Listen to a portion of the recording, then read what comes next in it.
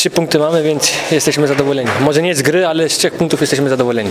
Jakie wrażenia po, po pierwszym spotkaniu w Ekstraklasie? Po tych pierwszych 45 minutach, bo poprzedłeś poprzednio. Było ok, nie było dobrze, ale tak jak mówię, przegrywaliśmy 2-0, wygrali, wygraliśmy 3-2, więc z tego się cieszymy. Z grania nie cieszymy się za bardzo, ale z trzech punktów się cieszymy. Pierwsza połowa na pewno odbiegała od tego, co byśmy sobie życzyli i nie byliśmy z niej zadowoleni.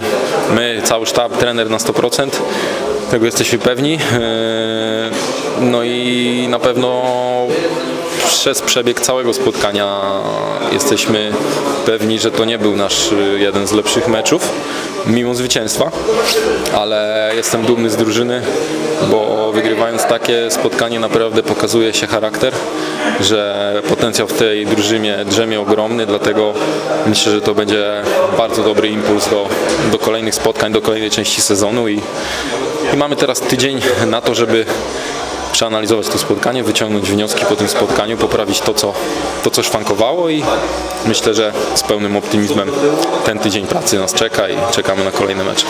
No na pewno ta e, pierwsza bramka nam dała trochę otuchy, żeby dalej iść i zawsze jest ważne zrobić szybko bramkę i zrobiliśmy na 2-1 i później tylko dalej próbowaliśmy no i dało, udało się dzisiaj.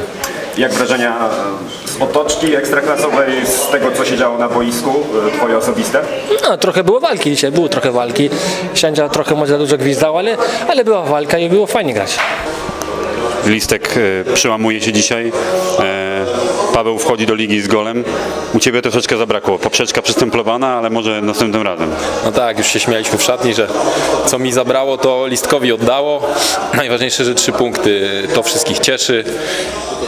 No, jakieś tam przełamania chłopaków to też cieszy, no bo każdy gdzieś tam się e, z nich odblokuje, pewnie będzie, będzie mi łatwiej o, o kolejne bramki. Także no, no wszystko super. Listek, nie, nie ma go w szatni, nie wiem co się z nim dzieje. Chodzą słuchy, że wybiegł po tej bramce i cały czas biegnie gdzieś tam stadionem, ale mam nadzieję, że go znajdziemy.